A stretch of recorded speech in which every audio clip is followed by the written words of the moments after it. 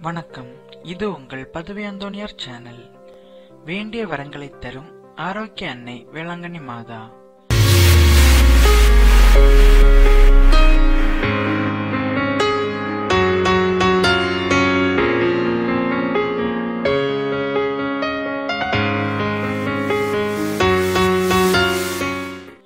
தூய ஆரோக்கிய அன்னை திருத்தலம் தமிழ்நாட்டில் நாகப்பட்டினம் மாவட்டம் வேளாங்கண்ணியில் உள்ளது. இது இந்தியாவில் உள்ள கத்தோலிக்க திருத்தலமாகும். இவ்வாலயம் தூய ஆரோக்கிய அன்னையின் பெயரால் கட்டப்பட்டதாகும். இவ்வாலய விழா நாள் கன்னிமரியாவின் பிறந்த நாளும் போர்த்துகீசிய மாலுமி கரையடைந்த மற்றும் புதுமை நடந்த நாளுமான செப்டம்பர் எட்டாம் தேதி ஆகும். இவ்வாலயத்தின் மேற்கில் உள்ள விரிவாக்க முகப்பு பிரான்ஸ் நாட்டில் உள்ள லூர்து நகரில் உள்ள பேராலய வடிவில் கட்டப்பட்டது என்பது குறிப்பிடத்தக்கது. அன்னை மரியா இயேசுவின் தாயான மரியா உலகின் பல நாடுகளில் வாழும் மக்களிடையே தோன்றி இயேசுவின் மீது நம்பிக்கை கொள்ளுமாறு அழைப்பு விடுத்துள்ளார். அவர் தோன்றிய இடங்களின் பெயரால் லூர்து மாதா ஃபாத்திமா மாதா மற்றும் பல்வேறு பெயர்களால் அழைக்கப்படுகிறார்.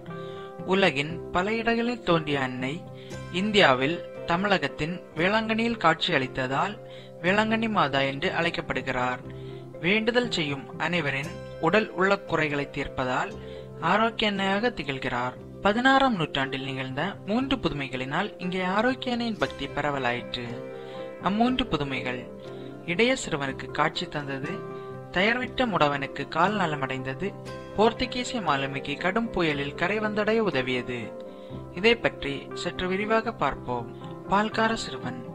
அன்னை மரியா பதினாறாம் நூற்றாண்டு பிற்பகுதியில் அதாவது ஆயிரத்தி ஐநூற்றி தொண்ணூத்தி ரெண்டாம் ஆண்டு செப்டம்பர் எட்டாம் தேதி நாகப்பட்டினம் அருகே உள்ள வேளாங்கண்ணியில் காட்சியளித்தார். வேளாங்கண்ணி என்றால் விவசாய நிலம் என்று அர்த்தம். இங்கிருந்த குளத்தை சுற்றி வேளாண்மை நடந்தது. அந்த காலத்தில் பண்ணையார் ஒருவருக்கு பால் கொண்டு சென்ற இந்து சிறுவனுக்கு வேளாங்கண்ணி குளத்தின் அருகே மரியன்னை குழந்தை இயேசுடன் தோன்றி தனது மகனுக்கு பால் வழங்குமாறு கேட்டார். அன்னையின் விண்ணக அழகால் மெய்சிலிர்த்த அவன் குழந்தை இயேசுக்கு பால் கொடுத்தான். பால் குறைந்ததால் பண்ணையார் சிறுவனை திட்டி தீர்த்தார்.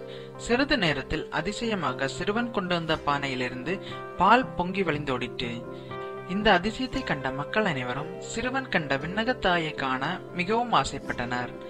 அன்னை காட்சியளித்த இடத்தில் மக்கள் கூடி ஜபிக்க தொடங்கினர்.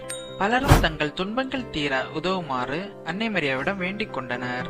மோர்விட்ட சிறுவன்.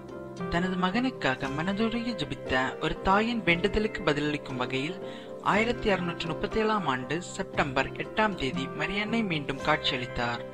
நடுத்திட்டு என்ற இடத்தில் மோர் விட்டு கொண்டிருந்த கால் உணமற்ற சிறுவன் ஒருவனுக்கு அன்னை மரியா தோன்றினார். மகனே எழுந்து நாகப்பட்டினத்தில் உள்ள செல்வந்தரிடம் சென்று ஒரு ஆலயம் கட்டச் சொல் என்ற அன்னையின் வார்த்தைகளை கேட்ட சிறுவன் அதிர்ந்து போனான். அம்மா என்னால் எப்படி நடக்க முடியும் என்றான் சிறுவன். உன்னால் முடியும் என்றார் அன்னை. அவன் எழுந்தான் நடந்தான். அங்கு ஓடத் தொடங்கியவன் செல்வந்தரின் வீட்டில் போய்தான் நின்றான். அன்னையின் புகழ் சுற்றுப்புறம் எங்கும் பரவ அன்னை செல்வந்தருக்கு காட்டிய இடத்தில் ஒரு சிறிய ஆலயம் கட்டப்பட்டது. போர்ச்சுகீசியர்களுக்கு நடந்த ஆச்சரியம். ஆயிரத்தி அறுநூற்றி எழுபத்தி ஒன்றாம் ஆண்டு இந்தியாவுக்கு பாய்மர கப்பலில் பயணம் செய்த போர்ச்சுகீசியர்கள் சிலர் நடுக்கடலில் வீசிய புயலில் சிக்கிக் கொண்டனர். என்ன செய்வதென்று அறியாமல் திகைத்த அவர்கள் அன்னை மரியாவிடம் உதவி கேட்டனர். அம்மா நாங்கள் கரை சேரும் இடத்தில் உமக்கு ஒரு ஆலயம் கட்டுவோம் என்று வாக்குறுதியும் அளித்தனர். மரியன்னையின் உதவியால் புயல் அடங்கி கடல் சீற்றம் ஓய்ந்தது. கப்பலில் பயணம் செய்த போர்ச்சுகீசியர்கள் வேளாங்கண்ணியில் பாதுகாப்பாக கரையிறங்கினர். அன்று செப்டம்பர் எட்டாம் தேதி ஆகும் தேவமாதாவின் பிறந்த நாளும் அன்று. தங்களை பத்திரமாக கரை சேர்த்த அன்னைக்கு நன்றியாக வேளாங்கண்ணியில் இருந்த சிறிய ஆலயத்தை பெரிதாக கட்டி எழுப்பினார். கலைவண்ணமிக்க பீங்கான் ஓடுகளால் ஆலய பீடத்தை அலங்கரித்தனர். தங்கள் கப்பலில் பாய்மரத் தூணை ஆலய கொடிமரமாக நாட்டினர். அதில் தான் இன்றளவும் மண்ணையின் கொடி பறந்து கொண்டிருக்கிறது. போர்ச்சுகீசியர்கள் கரை சேர்ந்த நாளான மாதாவின் பிறந்த நாளிலேயே வேளாங்கண்ணி மாதா ஆலய திருவிழா சிறப்பாக கொண்டாடப்பட்டு வருகிறது. வேளாங்கண்ணி ஆலயத்தின் வளர்ச்சி பற்றி பார்ப்போம்.